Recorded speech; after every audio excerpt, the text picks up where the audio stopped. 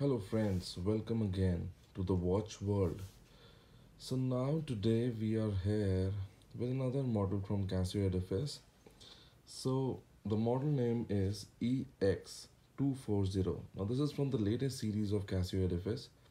So we'll be trying to understand what the watch is all about, having a close look of it, and I'll give you some of my feedback on the watch. Rest Casio Edifice is a very popular brand here in India so I'm sure the watch would be one of the greatest model of the same. But still, let's see how things flare up. So first thing first, the model number. It's EX240. So the Indian model number for the watch is EX240. The international model number for the watch is EFR547SG 7AV UDF. And the price here in India as of now, as of Jan 2018, is triple nine five. That is near to 10,000 rupees. You can Google it up for better pricing options here in India. The watch is coming with Casio India warranty, and uh, so there's a booklet that comes with mentioning the you know the service centers here in India, and uh, so this is a list of service centers here in India. Then this is the whole package that you get: the box, uh, and the white cover over it. So there's the watch so there's the watch the manual. So this is one simple graphic display graphic which is which calls it as super illuminator. As you can see there are two led lights. So if you can read out here super illuminator lights up the dial with high brightness white leds let's see how things look up. And uh, again it's showing up as the face of the watch under dark. So i'm sure it's pretty much of light for the watch. Uh, other than that there is the Casio Edifice warranty card which comes with two years of warranty. So let's have a closer look of the watch now. So great. Uh, so exactly the color of the watch is uh, silver and this is white and this is a combination of silver and rose gold. So so we'll see the dial for like later on and uh, I'll just show you the straps. So since it's a brand new watch we'll not open the laminations let have a let's have a closer look over here if you can see precisely. This is like a polished finish of stainless steel watch. So there's one button over here then there are two buttons over here and the crown.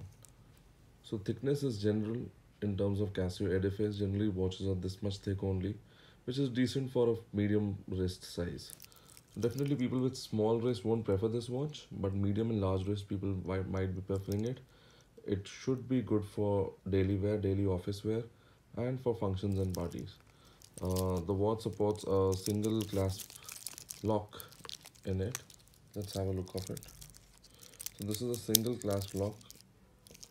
You have to press these buttons just to open it. So this pin is very sturdy so they have a good feedback of single lock but generally watches edifice comes with a double clasp lock as well. Behind the watch just read out.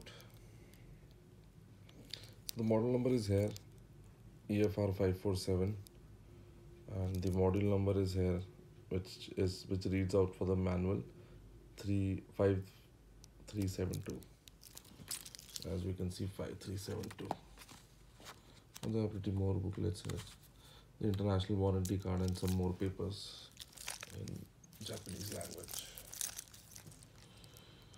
So uh, that's the back of the watch. Uh, on the back there is simple stainless steel finish. There are these are all adjustable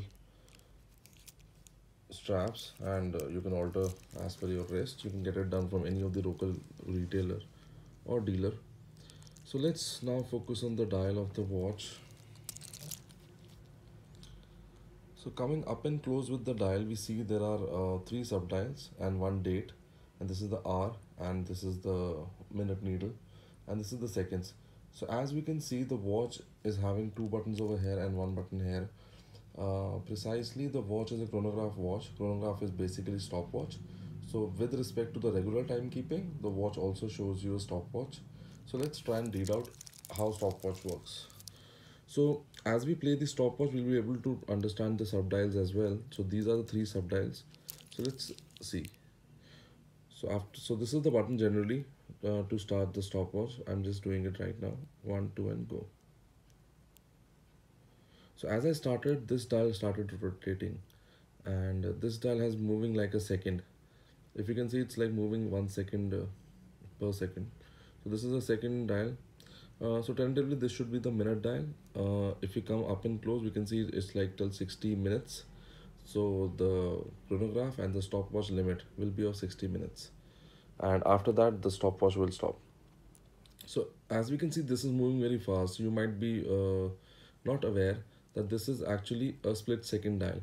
So the particular watch has a function of 1 by 10 split second. So it means that the particular watch is traveling so like from this red to this red in one second.